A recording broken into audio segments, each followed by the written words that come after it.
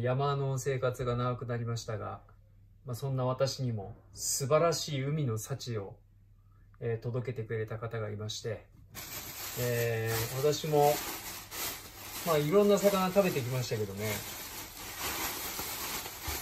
超高級魚。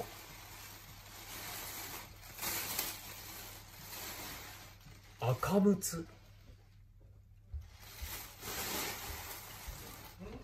かも釣ってそんなに間もないやつですね。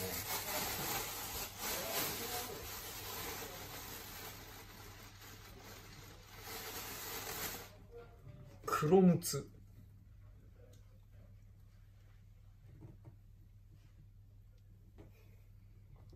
これらを腹渡を取っていきたいと思います。いやこれねやったことないんだけどね。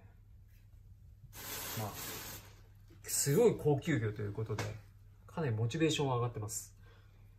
まあね、腹渡取るだけなんでね。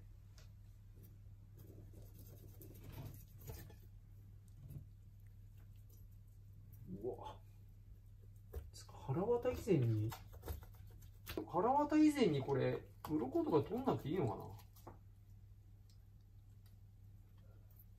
あれ？腹渡ないよ。え？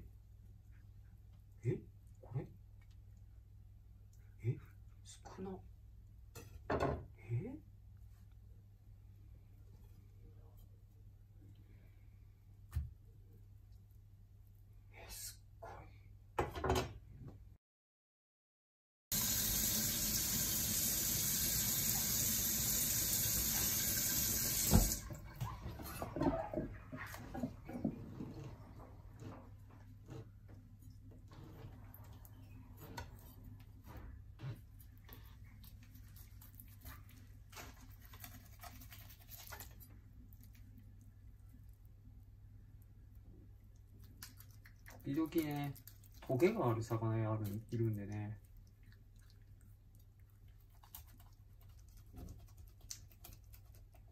うわ、めっちゃ入ってる。これまたいい、いい魚だな。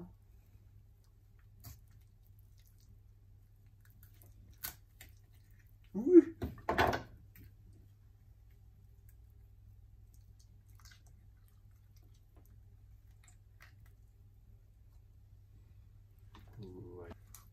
状況が生まれるとはね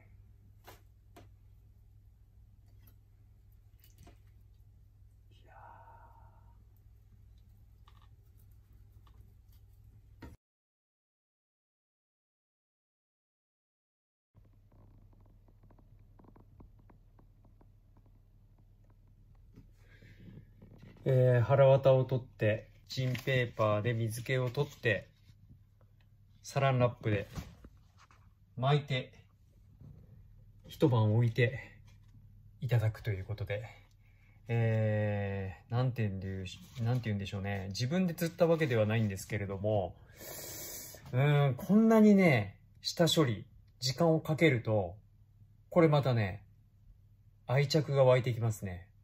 山鳥じゃないですけど。なんか素材と向き合って、あの、時間をかけて下処理をするだけで、愛着が湧いてくる。不思議ですね。まあなんかね、見た目もちょっと愛嬌がある魚ですよね。目が大きくて。うん。まあ高級魚っていうのもね、あるから、よりちょっと力も入るとこありますけど、うん。まあ初めてにしては頑張ったんじゃないですかね。腹渡取ってちゃんと鱗も取りましたからね。全部。最後しっかりと仕上げていきたいと思います。うん1時間ちょいですかね。えー、一匹一匹手間暇かけて綿を取り、えー、鱗を取りキッチンペーパーで水気を取りラップした状態です。